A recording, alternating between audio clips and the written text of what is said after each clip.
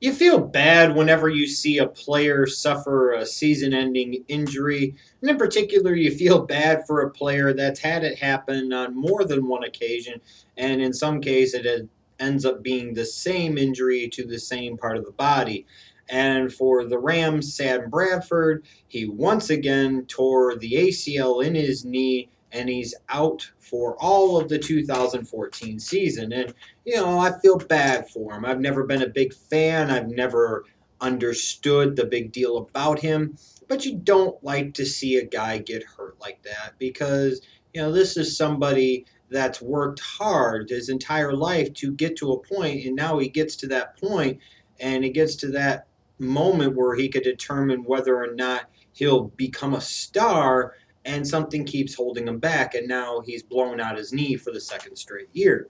Now, with that said, though, it surprised me so much to see the narrative that has been constructed over the past week. Not so much about how this is a sad and tragic injury for Sam Bradford, because it clearly is, but that this is a devastating injury to the St. Louis Rams organization and that there is no way they could possibly overcome it, and the 2014 season is lost. To which I sit there and say, whoa, whoa, whoa, let's pump the brakes here. Just, just slow down here a second. I counter that the Rams will be just fine without Sam Bradford. And in fact, this may very well be the best thing that could ever happen to this organization by him going out again in 2014. I've never really gotten the Sam Bradford hype. You know, coming out of Oklahoma, I didn't see it. I thought he lacked the arm strength. I thought he lacked the durability to be able to be a franchise quarterback in the National Football League. And based off of what I've seen over the past four plus years, I've seen nothing to change my mind about that. Um, here's a quarterback that in four seasons has only played 49 games. That's an average of just over 12 games a season. Again, the most important thing a quarterback can do to be a franchise quarterback is to be able to answer the bell every single game. And only twice through the past four seasons has Sam Bradford been able to do that. And of course, he's not going to be able to do that again in 2014 people talk about this guy like he's some great savior of the St. Louis Rams, and maybe that's just because of the fact that he was taken number one overall. Maybe that's because of the fact the Rams and Les Snead and Jeff Fisher in particular have been so behind a guy that frankly was the guy for a previously failed regime that fans and media buy into this and try to justify the Rams not addressing quarterback early in the draft the past couple of years um, but the fact is, is Sam Bradford has been a mediocre NFL starter. I don't care how you spin it. He's 18, 30, and 1 as a starter. 18, 30, and 1. At no point in time in any season has he had a winning record, whether he's played all 16 games or not. And even looking back at 2013, when people said it was so sad and tragic and it was the worst thing that could happen to the Rams organization, they seem to forget that in Sam Bradford's seven starts, he had a three and four record. They still had a losing record, and the Rams went on to go seven and nine. You know, so that means they went what four and five the rest of the way with Kellen Clemens as their starter.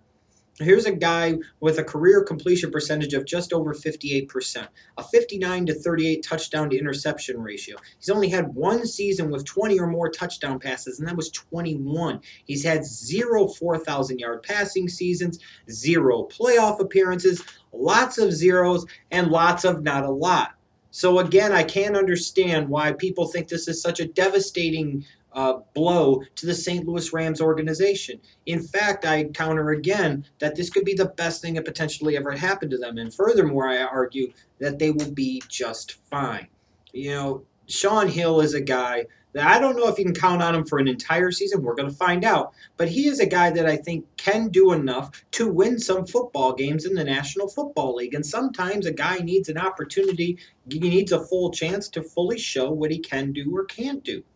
Furthermore, now that the Rams have once again been bitten by the injury bug, excuse me, the um, chronically injured, if you will, Sam Bradford, regardless of the circumstances, it's about the result. And the result is that Sam Bradford, excuse me, can't be counted on. He can't be relied upon to stay healthy. He cannot be the St. Louis Rams franchise quarterback. He never has been, and he most certainly never will be. And now, after his fifth season, a season where once again he won't play all 16 games, in fact, he won't even play one regular season game, Maybe this will be the ultimate kick in the ass that Les Snead, the general manager, and head coach Jeff Fisher finally need to quick them, kick him square where the good Lord split him, so to speak, and wake him up and tell him, hey, ding dong, dumb dicks. You got a chance to do something special in St. Louis, but you're never going to do it with Sam Bradford. You have to find that guy. And that guy, again, is not Sam Bradford. And if any season, if any result or any circumstance was ever going to wake up the Rams organization to this truth and this fact, it's right here in 2014. You went into the season expecting big things out of a quarterback in Sam Bradford who hasn't established much of anything other than that he's a mediocre guy that can't be counted on to start all 16 games. He's coming off of a torn ACL. You don't bother addressing the position at any point in time early in the 2014 NFL draft. And here we are again. You've got Sam Bradford out for the entire season this time. You don't have him at your disposal at all. And you have no young quarterback really waiting in the wings. It, it's this simple. Bradford, I'm sure he's a nice guy. I'm sure he works hard. I'm sure he's a good teammate. But that shit don't matter at the end of the day. The NFL is a results driven business, just like most businesses are. It's not just about effort, it's about production, it's about results.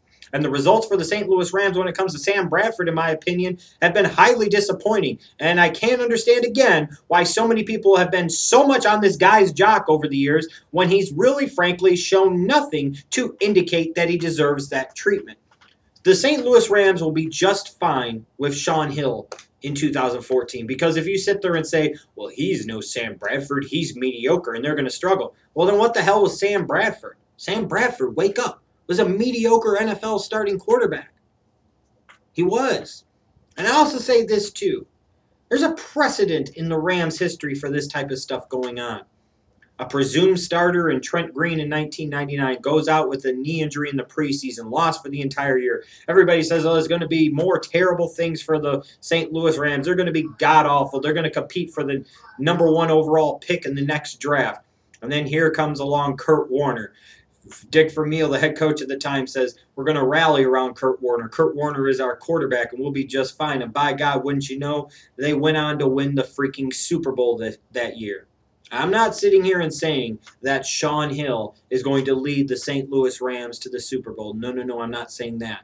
But I am saying to those that have tried to set the narrative that Sam Bradford is some devastating loss to the St. Louis Rams, stop talking out of your ass to St. Louis Rams fans who feel in tremendous despair about this season now and feel that Sam Bradford was some great loss. Well, you've had four plus years to learn. You've had four plus years to see. You should understand by now that Bradford wasn't the guy. And nor is Shaun Hill going to be the long term guy.